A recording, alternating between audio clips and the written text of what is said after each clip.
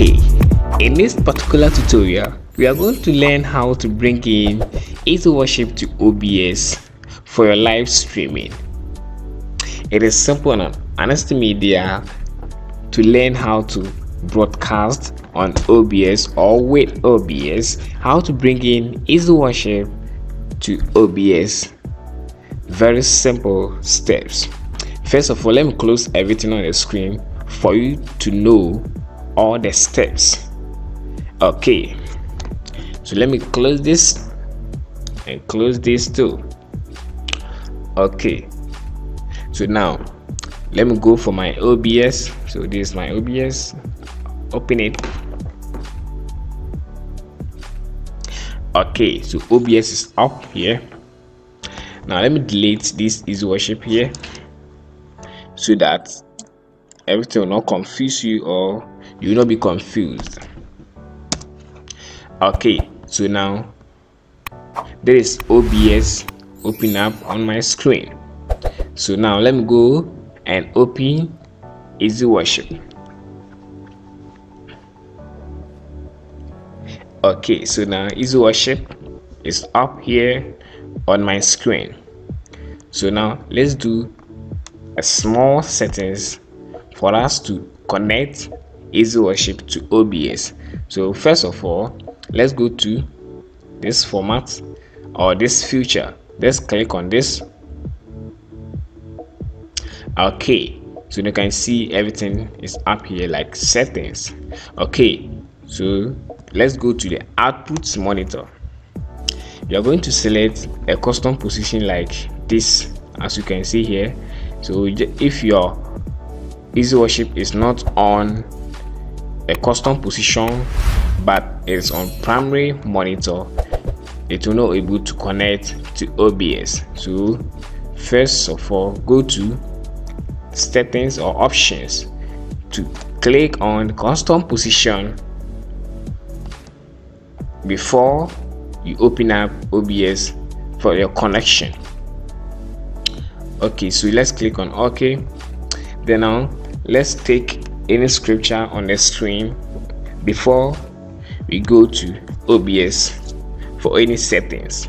So now I want to go to Psalm okay so Psalm Psalm 1 1 or uh, what what I want to say Psalm 23 okay so Psalm 23 verse um I think uh, is not having verse and all those things. They say just Psalm 23 6 Psalm 23 so so Psalm 26 is up here on my easy worship. So let me just click on and tap. so everything is up here on easy worship. So let me go to obs and close everything here. Okay so we finish with this easy worship settings. Let's go to obs so this obs now click on this plus sign. Don't go to ndi source but we are going to window capture because easy worship 2009 doesn't need any ndi source for connection. So just go to window capture click on the window capture. Then you can name your um your inputs to obs just name it okay so from here I want to name it easy worship. Easy worship. Okay everything is correct here. Then enter. So we don't we don't need this screen or you don't need these features. You just need or you just need this surely goodness and those things. You just need the second screen for live streaming. You don't need all these features okay you just go to window and then click on the live output coming from easy worship.exe so just click on this. You can see that the output is up here from easy worship to obs so just click on ok. Any setting doesn't need from there. You just click on control f then everything will fit the screen. So you can go ahead and transition it. Okay so this is our transition for your live streaming. So in case you're on live the audience will able to see this bible show on obs so yeah this is the obs then let's go to easy worship and change the scripture for us to see if anything is changing. Okay so you can see that everything is changing on easy worship and obs both aside. So yes how we connect easy worship to obs let's go to song.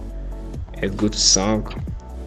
This is my songs coming up from easy worship to obs so everything is changing on easy worship and also on obs so that is how we connect obs with easy worship thank you for watching this tutorial.